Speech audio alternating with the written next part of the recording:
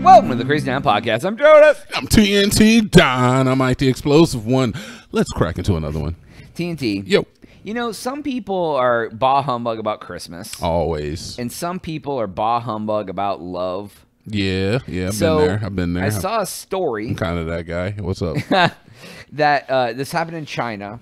There was a mm-hmm. screening of Beijing Love Story, Oh, premiered sound- on Valentine's Day. oh, so- it's a love story. I mean, I you know, they put it out so all all the homeboys will take their homegirls out there. Yeah, Get they- on down, get a little hand holding. Get get her a little little pre moist before you take her to the, back to the sack. Jesus Christ. Isn't that what they do it for? Pre moist. yeah, you Cut, I thought he was gonna say cut a hole in the bottom of the popcorn bucket. You took it a whole nother level really quick.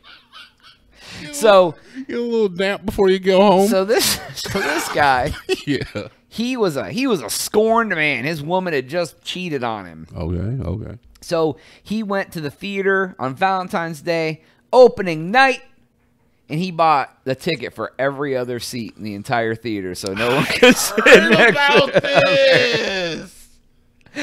so that nobody could watch it sitting next to your girlfriend. I mean, I don't know how the hell you stop it. It's one guy trying to take up every other seat, so like people just walk in and like I'm gonna sit next to my girlfriend. Where did this happen? China. Yeah, that makes sense. Yeah. There's a lot of people over there, man. When you got a lot of people, Oh like my- how petty do you have to be? That's insane. Oh yeah, right. an insane He's gonna ruin everybody's. Just like be like, oh, when you go to get the theater, they're like, why is every other seat taken? Because it's a solo night. That's an insane amount of pettiness. Not to mention, like, Yeah, you're you- taking like fifteen bucks times like hundred seats. Like this, this homeboy spent fifteen hundred dollars just to ruin everybody's night. They just Yeah. went and saw another movie. But you wouldn't even ruin their night because I would just be like, oh, nobody's sitting here after like the when you the- walked into the theater and we're just like, oh, yeah, I'm just gonna sit where I want because. Like Yeah, you would think it was a joke. How many single folks are going to sit every other seat in the damn movie? I mean, yeah, I mean that's true. That's true. So, anyways, I just wanted to start with that segue. okay, all right. You I saw a video last night, and it was it was like uh like a blind. It was like a dating show, and and both people were blindfolded. And the girl, did you see this online? this is this is an old one, but yeah, yeah, I've seen this. So the girl's dressed up like an anime character. She's cosplaying, and she, she and she's she's a larger woman. she's she's softing.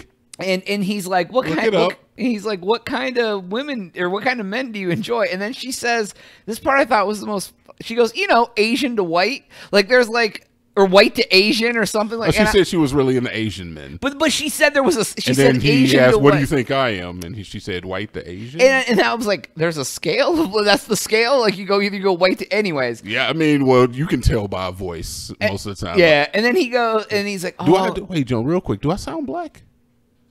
it depends on the day. Okay, I I, like that. No, I like that. Answer. That was a good answer. That's a good. what answer. Other like answer that. is there? That's a fair answer. Yeah. Okay. Um, Keep it going. So and then so then this guy's just like, hey, can we get a hug? No, he did ask her for the hug. And then when he comes back, he immediately slaps the "I don't want you" button, uh, edited, but yeah. and uh, and then he goes, and then they're like, "Why do you not want?" And he goes, "You know," he's like, "You know, I really feel like we get this good vibe. I could be friends. I got a gut feeling that he did say gut feeling. that we'd be He really." And said she's like, "That's fair." Uh, Two, okay, couple questions. that First was a off, setup. That was set up. if, if dude takes off his blindfold and she's dressed like an anime character and she's into Asian men, does he just freak out because she's like he's like she's fetishizing the ish out of him because he's Asian? I mean, that is what is happening. yeah, but there's nothing wrong with fetishizing men. Fine, whatever. You know, you into what you into. Um, I wouldn't freak out. No, I'd, pro- I'd probably act professional and then be like, "Yeah, this ain't gonna work," or "Hey, this slap the button right after. Like, oh, oh, you dressed up like an anime character and you tell me you into Asian dudes? Like, I, I, I see what picture I'm filling. Yeah, so that's an old clip. That's from uh, I don't know if that was even an American show. But no, I don't was- think it was. We America couldn't get away with that. We're too, we're too politically correct. But, but okay, so like, That It- was, I- that was I mean- that was a sizzle reel of that show, though. I will give you Yeah, that much. It but was a like- sizzle reel. so if you're on a blindfolded show and you just ask for a hug, are you cheating? I kind of feel like you're cheating because the thing is, love is blind. But I guess But you know, the- blind people can feel. But here's the thing. He you- grabbed the wrist. Like they didn't show the part where he grabs her wrist. oh, he grabs her wrist and like Yeah. feels. There's another her edit of that. Yeah, there's another edit of that meme where he grabs her wrist. So like, but here's the thing: if you know that you're 100% not attracted to big girls, Mm-hmm, would you not try to find out if they're a big girl because you would just know that you aren't into big girls? That's the thing. And is it fair to just say I'm not attracted to big girls? It'd be the same as being like I don't like Spanish women, and they're like, no, no, no. Wait, is it is that the same as you saying like No, I don't like Spanish women? The same as like I don't like big girls. Okay. Okay, I would have to say only because uh Spanish is like you can't help that. Like you're born into that. Whereas being a big girl is a lifestyle. You're not wrong. It's a lifestyle choice. Like you choose to do that to yourself. You know? Yeah, I mean, you may And, not like, have chose to get that big, but you also choose not to like watch what you're eating. you choose to ignore the the fact is that that is an issue. Uh, because it is an issue, and they, Yeah. they know it just as much as anybody else. Um, and it, I mean, and honestly, it's like, okay, you choose to ignore that. That's fine because that's your decision. But it's not like you can't just say I was just born. I I, I have a hot take on that though. You can't just say that. Do you think What? that people can be unaware of what they're doing to themselves and like because they have an addiction, they have like an issue? Yeah, I mean the the mental the mental issue is definitely a thing, and that could be like something that you can't control. And that's another. I mean, that goes right in hand. Well, like, yeah, if you have that, you're unable to control yourself, voluntary or involuntary. Yeah, okay, and I'll give you that, but I will say is that because they have a mental issue, it, it needs to be addressed to remove it. You aren't going to tell a person who's Mexican that right. You gotta you gotta change your race. oh, Yeah. we'll fix you up. We'll have you talking about. We'll have you listen to Keith Urban. Keith Urban. just give me twenty minutes with you. Well, right, well, right. No, no, no. But I mean, like, yeah, it's like. Um, So that I'd say that is the main difference. Right, it- it- race doesn't really correlate with too much on this planet. Um, okay, okay. Let me let me take that away. You ain't got a leg. you born without a leg, or you got your leg shot off in the war? What happened? Either way, it doesn't matter. it doesn't matter. Okay, You lost a leg. Most people who lost a leg Uh, couldn't help they lost a leg. Okay, There are people do stupid stuff and have dumb act. Most of the time, you're born without a leg. You have an accident, a true accident. You lose a leg. okay. I'm ready. Right. I'm kind of ready to see where this is going So- because there's one angle that you could take where I'm like you you wrong. Okay, but, okay. But so going, so like is is, is you saying I don't want to date a big girl the, the same as saying I don't want to date someone in a wheelchair I because they have. Wait a minute. They're in a wheelchair versus they don't have a leg. Well, if you don't have a leg, you're probably in a wheelchair. you just get a prosthetic. oh, okay, you're not wrong. Okay. And hundred percent. Look, I'm gonna tell you right now is that every girl wants to date wants to date a uh, a tripod. Every every guy wants to date a tripod. I would love to date a tripod. Are you kidding me? Is that is that the slur version? I don't know. Is it? I don't know. Sounds slurry. Does it? Yeah, I don't know how me girls they be a wouldn't- tripod. Are you? Are you telling me they would take offense to that? I would think so. What? Walk up to someone with three legs and I'll call him a tripod and see what happens. see what, see what You think they'd be mad about that? I think so. I thought it was a cute little. I don't think so. It's not cute. I don't think so. Okay, well, I I apologize. Yeah, I don't know, but but is that but okay? And we're getting. I mean, like, but yes. I'm sorry, Is I'm it- making if you're joke. on a show for love, I know I got you, but for love, and you know you aren't into something, are you are you the asshole for like trying to figure out if they're that thing?